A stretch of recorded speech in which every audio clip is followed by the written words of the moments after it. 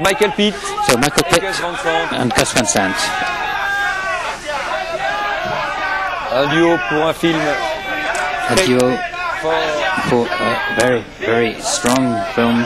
Nicole Vicius, Asia Argento, Nicole Vicius, Scott Green et Lukas Asia Argento, Scott Green, donc une, une and, uh, Lukas Haas.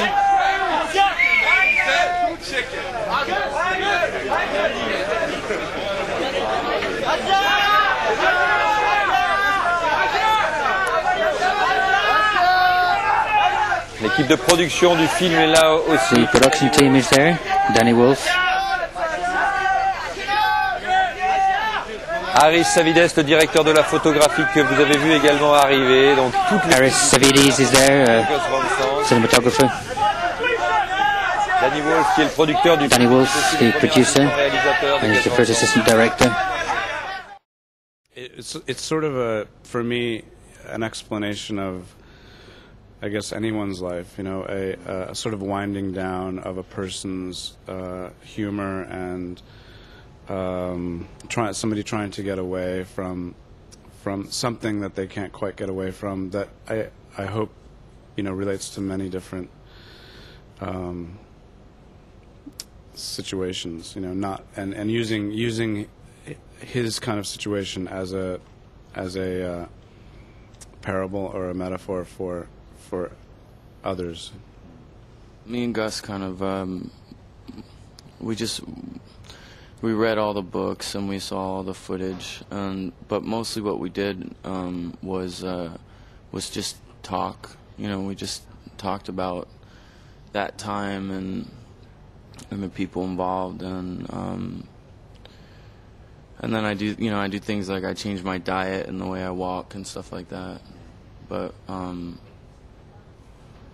I don't know that's that's it really We That's- basically had a lot of uh, just sort of musings about um, maybe a period of time and a story that we knew, but it kind of always related. Since it's an invisible time, nobody really knew what happened during that period of Kurt Cobain's life.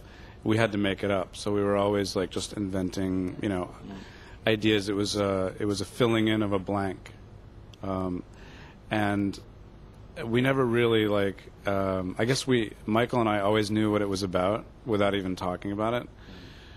But we never uh, we sort of just we talked about details not specific things. Yeah, yeah. not dramatic scenes. We talked about like just stuff. Even the script was kind of like a list of things rather than yeah. maybe like a dramatic situation you never really know what, what Gus is doing, but that's um, that's what's scary and that's what's really exciting too. Um, you kind of have to, I- think you have to submit and just you you have to trust him, and I did.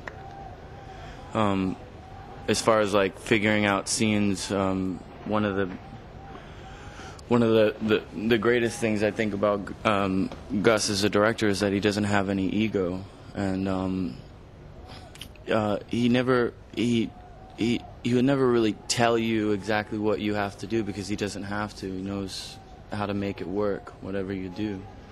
Um, so a lot of it was like uh, us bouncing off ideas, and um, I guess I assume um, with Gus keeping uh, sort of a um, uh, the map of the story in his head.